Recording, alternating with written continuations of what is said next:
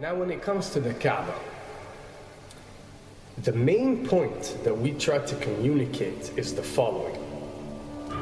In Islam or in the Quran, God teaches that if all mankind and if all the jinn combine to sin and move away from God, then God doesn't lose one atom's worth of his kingdom. And if mankind and jinn combined to dedicate every second of their life prayer and to worship of the one God, then God's kingdom doesn't gain one atom's worth as well. What does this philosophy teach you? It teaches you that God is not in need of you, or your practices, or your worships, or your prayers. You are in need of these practices and these worships. You are in need of God and not the other way around. If you can understand that philosophy, then you can appreciate prayers and what they are meant to do, which is basically enlighten you.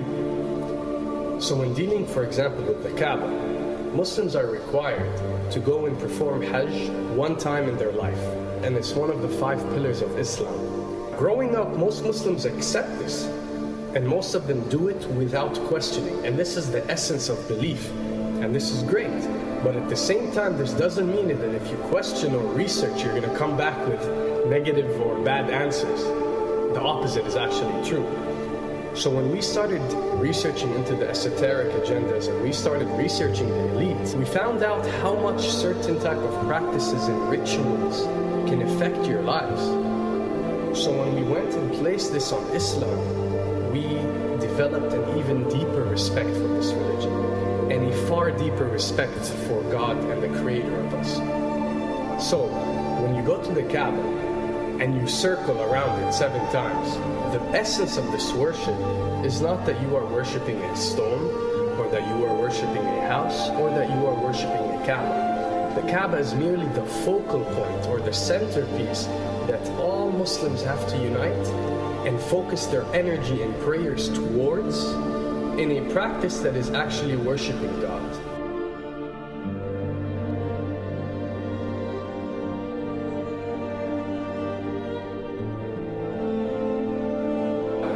Now, going in circles counterclockwise does not break you away from time and space. But the fact that the energy of the Kaaba is the strongest energy on earth and it flows counterclockwise, by you flowing in correlation with this energy, you are uplifting yourself. You are reaching spiritual levels that you rarely do experience anywhere else on earth. And the fact that you got to do it seven times, and we are taught that there are seven skies, or seven samawat, or seven spiritual planes, then one can discover that each circle breaks you through a spiritual plane spiritually, so you can reach the ultimate state of wisdom and spirituality. Does this mean that only Muslims can reach this level? Does this mean that if you're not Muslim, you give up or you reject this information? Not at all. In essence, any one of you, regardless of what your faith is, if you are dedicating your worship and your journey to the one and only Creator and not anything created, then you are on a righteous path.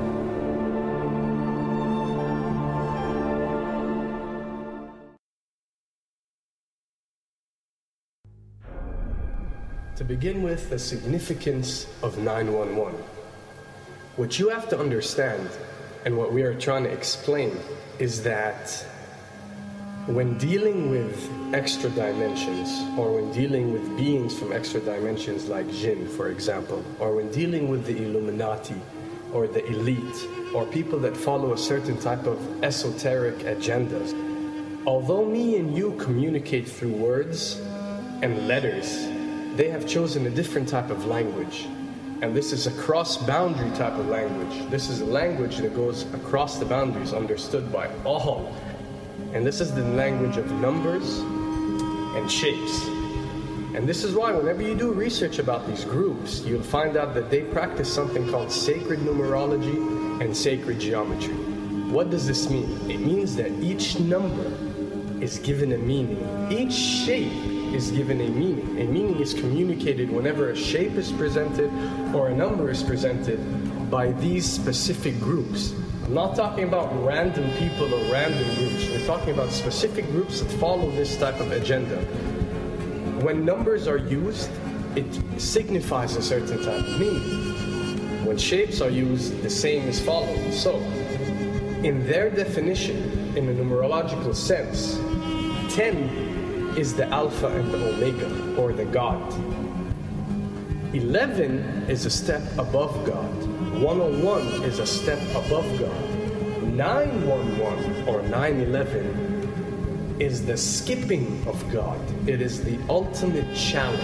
It is going from number 9, which has a specific meaning, to number 11 without going through 10. It's skipping God.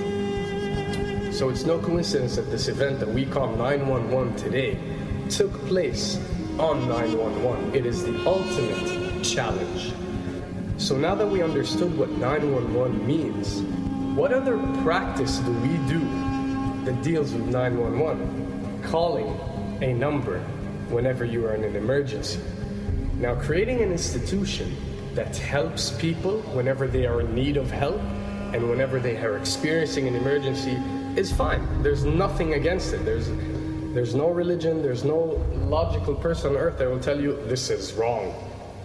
But when you understand how sinister these elite are and the way they work, they work on a level that's way beyond what you think.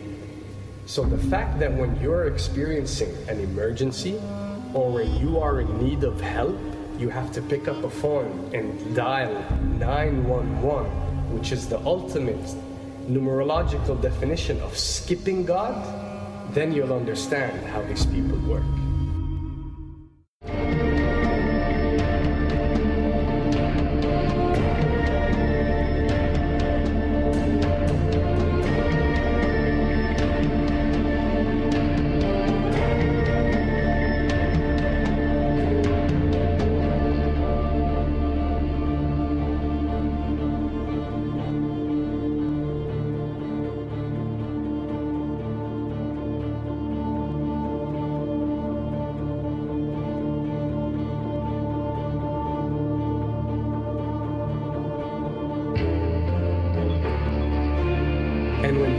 Rituals, we recognize that everything adds up.